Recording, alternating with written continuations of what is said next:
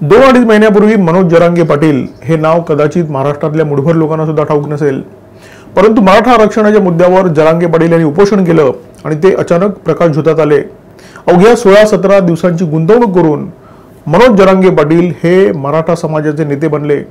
आणि आता परिस्थिती अशी आहे की ॲडव्होकेट गुणरत्न सदावर्ते यांच्यापासून राष्ट्रवादी काँग्रेसचे नेते छगन भुजबळ यांच्यापर्यंत ते सर्वांनाच समज देत सुटलेले आहेत. ते ज्या प्रकारे दंबाजीची भाषा करतायत ती भाषा ऐकली की प्रश्न पडतो की आता यांना समज कोण देणार? आणि याच विषयावर बोलणार आहोत. नमस्कार मी दिनेश कांजी आपण बघताय न्यूज डंका. व्हिडिओला सुरुवात करण्यापूर्वी एक छोटीशी आठवण पुन्हा एकदा. एक नोव्हेंबर रोजी दादरच्या स्वातंत्र्यवीर सावरकर राष्ट्रीय स्मारकामध्ये न्यूज डंकाच्या दसरा दिवाळी अंकाचा प्रकाशन सोहळा पार पडणार आहे. आणि या सोहळ्यामध्ये न्यूज डंकाच्या तमाम प्रेक्षकांनी नाव नोंदणी करून सहभाग घ्यावा अशी आमची नम्र विनंती आहे.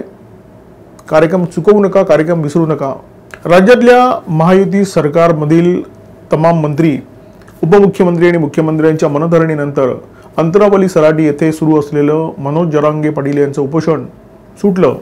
परंतु हे उपोषण सोडताना जरांगे पाटील यांनी राज्यातल्या महायुती सरकारला इशारा दिला होता की कोणत्याही परिस्थितीत मराठा आरक्षणाचा प्रश्न तीस दिवसात सोडवा. परंतु जो प्रश्न चाळीस वर्ष भिजत पडलेला आहे तो फक्त तीस दिवसात सुटावा कसा? असा प्रश्न कदाचित त्यांच्या मनात आला असेल आणि त्याच्यानंतर कृपाळू होऊन मनोज जरांगे पाटील यांनी राज्य सरकारला दहा दिवसाची मुदतवाढ दिली. आता ही मुदतवाढ चोवीस ऑक्टोबरपर्यंत संपणार आहे.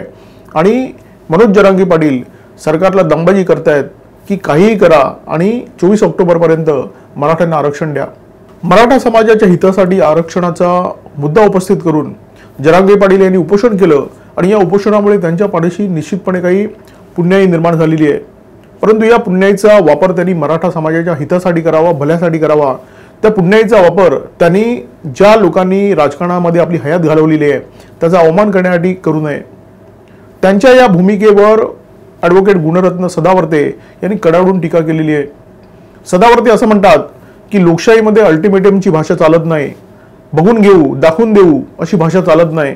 देशातील आरक्षणाची मर्यादा पन्नास टक्के आहे. उर्वरित पन्नास टक्के जागा या खुल्या वर्गातल्या समाजासाठी आहेत गुणवंतांसाठी आहेत आणि या गुणवंतांसाठी वेळ पडलं तर मी लढा देईन वेळ पडलं तर मी आमरण उपोषण करीन अशा प्रकारचा इशारा गुणरत्न सदावर्ते यांनी दिलेला आहे. सदावर्तेंच्या या भूमिकेचं कौतुक अशासाठी करायला हवं? कारण सदावर्ते हे दलित समाजाचे आहेत परंतु ते आवाज उठवत आहेत खुल्या वर्गातील तरुणांसाठी. मनोज जरांगे पाटील हे मराठा समाजाचे आहेत आणि ते मराठा समाजासाठी आरक्षण करतायत. याचा अर्थ स्पष्ट आहे की सदावर्तेंनी जाती पलीकडे विचार करण्याची मानसिकता दाखवलेली आहे. म्हणून त्यांच्या विचारांचं कौतुक व्हायला पाहिजे. सदावर्ते आणि खुल्या वर्गातील तरुणांसाठी त्यांच्या भल्यासाठी आरक्षणाच्या मुद्द्यावर उपोषण करण्याचा इशारा दिलेला आहे.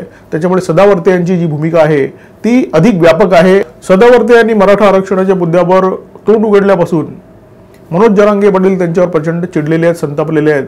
त्यांनी थेट उपमुख्यमंत्री देवेंद्र फडणवीस यांना आवाज दिला. की सदावर्ते तुमचे कार्यकर्ते आहेत त्यांना समज द्या. इथे सुद्धा मनोज जरांगे पाटील गप्प बसले नाहीत. त्यांनी थेट पंतप्रधान नरेंद्र मोदी यांच्याकडे उपमुख्यमंत्री देवेंद्र फडणवीस यांची तक्रार केली आणि मोदींना त्यांनी सांगितलं की फडणवीसांना तुम्ही समज द्या. जेव्हा राष्ट्रवादी काँग्रेसचे नेते छगन भुजबळ यांनी ओबीसी कोट्यातून मराठ्यांना आरक्षण देण्याच्या भूमिकेचा विरोध केला तेव्हा जरांगे पाटील त्यांच्यावर सुद्धा उखडले. आणि त्यांनी अजित पवारांकडे छगन भुजबळांची तक्रार केली.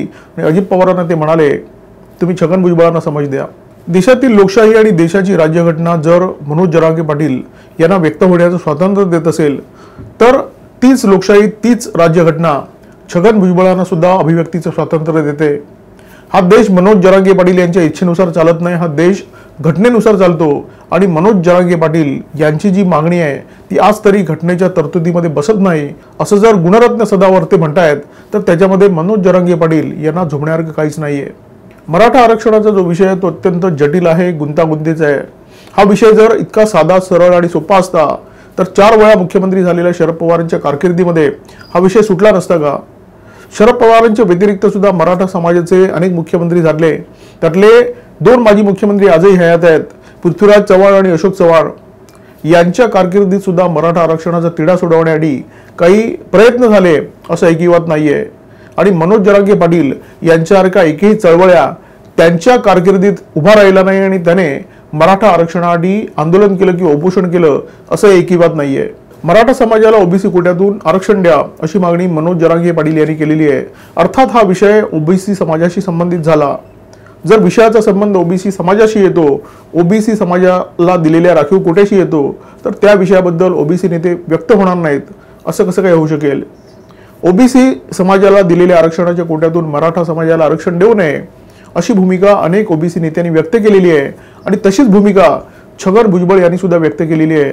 परंतु ही भूमिका भुजबळांनी व्यक्त केल्यानंतर मनोज जरांगे पाटील इतके संतापले की त्यांनी छगन भुजबळांना चक्क चिल्लर नेता म्हटलेलं आहे. मनोज जरांगे पाटील हे सध्या दौरे करतायत आहेत लाखालाखाच्या सभा घेत आहेत आणि या सभांसाठी लागणारा पैसा येतो कुठून असा सवाल छगन भुजबळांनी केला. आणि हाच प्रश्न जरांगे पाटील यांना झुमला आणि त्यानंतर त्यांनी भुजबळांचा उल्लेख चिल्लर नेता असा केला. भुजबळांना मराठा समाजाने मोठं केलं आहे अशा प्रकारचा दावा मनोज जरांगे पाटील यांनी केलेला आहे. जरांगे पाटील यांना बहुधा महाराष्ट्राचा राजकीय इतिहास ठाऊक नाहीये. छगन भुजबळांना मोठं केलं शिवसेना प्रमुख बाळासाहेब ठाकरे यांनी. शरद पवारांनी त्यांना शिवसेनेतून फोडलं आणि स्वतःच्या पक्षासाठी वापरलं. जेव्हा राष्ट्रवादी काँग्रेसची स्थापना शरद पवारांनी केली तेव्हा छगन भुजबळ शरद पवारांच्या सोबत भक्कमपणे उभे राहिले. महाराष्ट्रभर त्यांनी शरद पवारांच्या सोबत दौरे केले.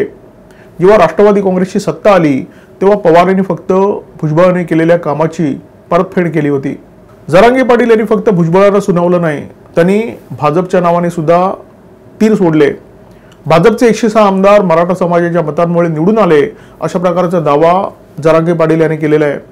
मुळात भाजप हा जातीच्या नावावर मत मागणारा पक्ष नाही आहे भाजपने हिंदुत्व स्वीकारलेलं आहे आणि जातीचं राजकारण भाजपने कधीच केलेलं नाही आहे त्यामुळे जर मराठा समाजाने भाजपला मतदान केलं असेल तर ते हिंदुत्वाच्या नावावर केलेलं आहे. हिंदुत्व मानणाऱ्या मराठ्यांनी भाजपला मतदान केलेलं आहे. त्यामुळे भाजपला हा जातीचा टॅग चिटकवण्याचं काम जरांगी पाटील यांनी करू नये. देशात लोकशाही आहे आणि कोणत्याही मागणीसाठी लोकशाही पद्धतीने आंदोलन करण्यासाठी लोकशाही मार्गाने आवाज उठवण्यासाठी कोणत्याही प्रकारचा मज्जाव नाहीये. त्यामुळे मराठा आरक्षणाच्या प्रश्नासाठी भांडण्याचा आणि लोकशाही पद्धतीने आंदोलन करण्याचा जरांगे पाटील यांना पूर्णपणे हक्क आहे. त्यांची मागणी ओबीसी कोट्यातून मराठ्यांना आरक्षण देण्याची आहे आणि उद्या या मागणीला विरोध करण्यासाठी ओबीसी समाजातल्या नेत्यांनी लाखालाखाच्या सभा जर घेतल्या तर या प्रश्नाचं फक्त धैर्य होऊ शकतं.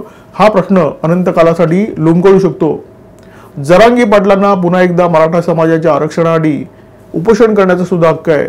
परंतु या मागणीच्या विरोधात जर गुणरत्न सदावर्ते यांच्यासारख्या लोकांनी ज्यांचा या मागणीला विरोध आहे त्यांनी सुद्धा उपोषणाचा मार्ग अवलंबला तर मग काय होईल?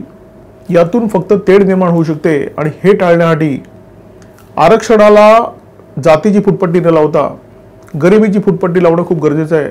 कधी काळी शरद पवारांनी सुद्धा हीच भूमिका घेतली होती.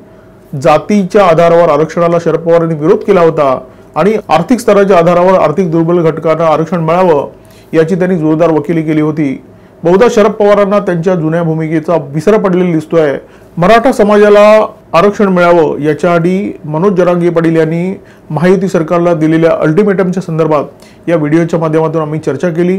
व्हिडिओ जर आवडला असेल तर लाईक करा शेअर करा आणि अशा प्रकारच्या माहितीपूर्ण व्हिडिओसाठी सबस्क्राईब करा आमच्या यूट्यूब चॅनल नमस्कार आणि धन्यवाद.